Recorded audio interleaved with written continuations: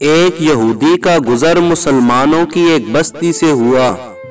उसके दिल में एक ख्याल आया कि क्यों न इन्हें इनके दीन के मुतालिक बदजन करूँ और इनके दिलों में शकूक शुबात पैदा करूँ और इन्हें अपने उलमा से बदजन करूँ।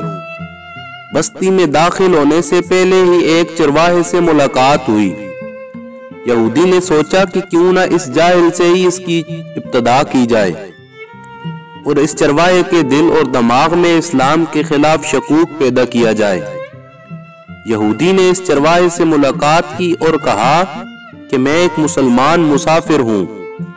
बातों ही बातों में यहूदी कहने लगा कि हम मुसलमान कुरान मजीद को याद करने के लिए कितनी तकलीफ़ उठाते हैं, जबकि ये कुरान तीस अज्जा पर मुश्तमिल है। लेकिन कुरान में बेशुमार आयात मुतशाबिया हैं जो एक जैसी हैं बार बार दोहराने की क्या ज़रूरत है? अगर मुतशाबियात को निकाल दिया जाए तो कुरान और भी मुख्तसर हो जाएगा और याद करने में भी आसान हो जाएगा। चरवाहा इसकी बात गौर से सुनता रहा और खामोश रहा। जब यहूदी की बात मुकम्मल हुई तो चरवाहे ने कहा कि वाह तुम्हारा ख्याल तो बहुत अच्छा है। यहूदी दिल ही दिल में बहुत खुश हुआ कि ये चरवाहा मेरे जाल में आ गया है। फिर अचानक चरवाहे ने कहा कि मेरा एक सवाल है। यहूदी ने कहा, पूछिए तो सही, तुम चाहते हो कि कुरान में जो मुतशाबियात या तकरार है, इनको निकाल देना चाहिए? हाँ बिल्कुल, मेरा यही ख्याल है कि जो आयत एक मर्तबा से ज़्यादा हो उसको कुरान से खारिज कर दिया जाए। तो कुरान मुख्तसर हो जाएगा और याद करने में भी आसानी होगी।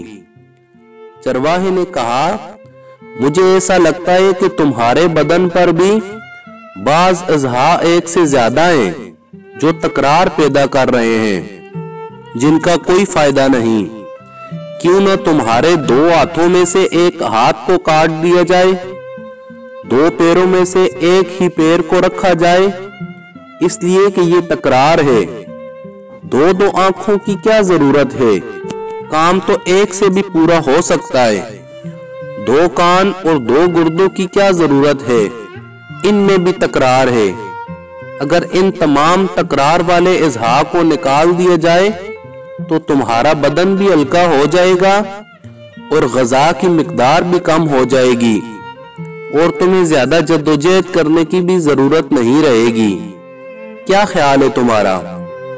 यहूदी अपना स्या मुँह लेकर फ़ौरन उठ खड़ा हुआ और अपनी राह ली। ज़िंदगी भर यही सोचता रहा कि जब मुसलमानों के चरवाहे की ये फ़िक्र है तो उनके उलमा के अफकार कैसे होंगे? अल्लाह रब्बुल इज़्ज़त से दुआए कि हमारे सरों पर उलमाए हक का साया ता देर सलामत रखे। आमीन सुम आमीन या रब्बुल आलमीन।